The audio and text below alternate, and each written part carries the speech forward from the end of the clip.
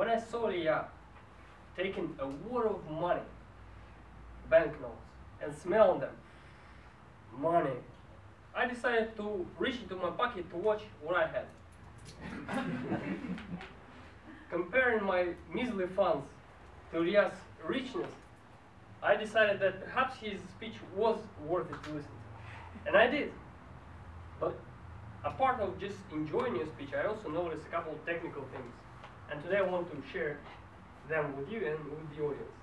I want to start with the things that I think you did well and conclude with things I think you could have done better. What did you do well? For me personally, two things stood out. Your visuals and, which is very important, your contact with the audience. Visuals. What of banknotes?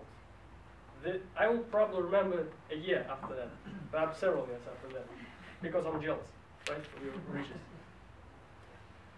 Nice slides, helping people understand what you were talking about. Slides were not only informative, they were also funny, which helped you establish better contact with the audience. And the contact, the second part, was very nice. You tried making jokes. People laughed at your jokes. Perhaps sometimes they laughed at you, laughed at you, but nevertheless, the contact was there.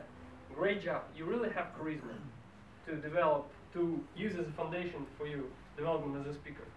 What you could have done better to deliver a better speech? Two things. If you want your audience to watch you carefully, enjoy your speech, watch your word choice. The second thing, you have body language. You have contact with the audience. You have visuals. You don't have much of vocal variety in the person. First thing, choice. When you started with your money topic, you gave us definition of money, right, from dictionary. It was such a long, difficult definition that by the middle of it, I already forgot what was in, at the beginning of it. Not very good thing. Also, when you are talking about things, about elastic money, you used a couple of difficult terms. It was difficult to follow you, damaged your charm a little bit. Second, vocal variety. Well, use your voice more. Say, money. Lithuania, just use your vocal variety, experiment with it. On the whole, I think that you have your charisma. You've been developing into a charismatic speaker.